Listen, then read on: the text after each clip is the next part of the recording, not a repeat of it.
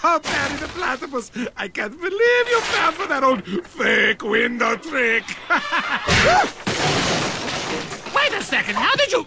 oh, I can't believe I fell for the old fake Perry the Platypus bit. That was pretty good, Perry the Platypus. I gotta give you props on that one.